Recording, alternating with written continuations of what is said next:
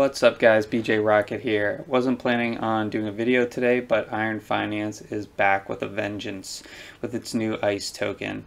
It's clogging up the Polygon network, it has insane APRs, so we gotta take a quick look.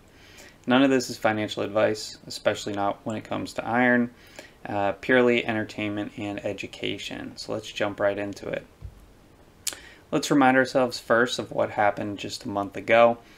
They launched a quote unquote stable coin that was 75% collateralized by USDC, which is cool, 25% collateralized by Titan, which proved not to be such a good idea.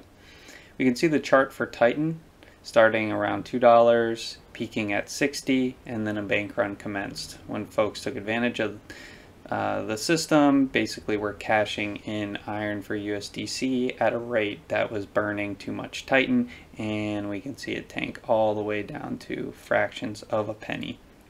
And pretty much tanking the iron token as well making it worth just the 75% of USDC that it was backed by.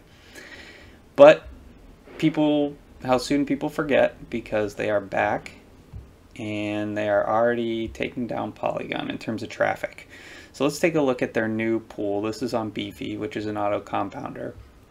And it's already 7 million APY, 3% a day, and 4 million is already invested in this pool, which is just crazy.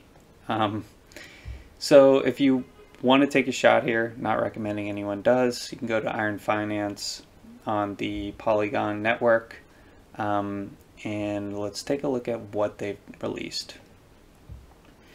So it's a pretty scant roadmap. Um, it's their new tokens called ICE from inspired by Game of Thrones. They're launching governance staking in a few days. But let's take a look at IronSwap and ICE. So IronSwap is that new stable pool.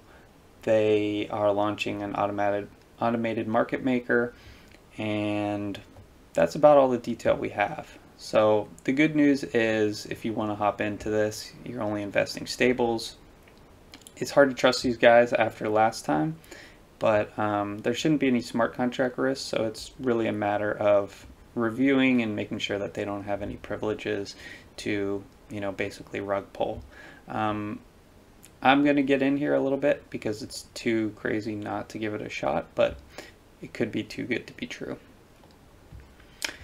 The ICE token is basically the new Titan. Um, not too much seems different, honestly. There's not a ton of details here. The price action has been predictably crazy. Um, I'm not even sure when it launched because it was 5 a.m. my time, but around a couple bucks, already in the 20s. And Polygon is pretty much the worst I've seen it. It looks like it may have settled down actually down to 70 Gwei.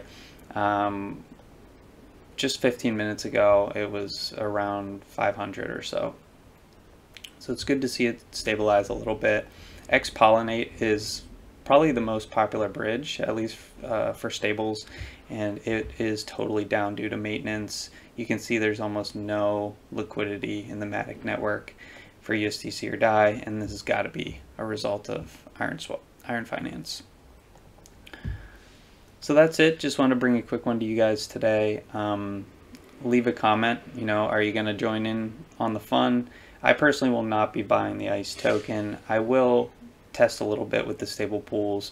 I think it is probably too good to be true, but um, you know, besides the bank run, this team has been pretty proven. They never had issues on BSC, at least not to that level of significance.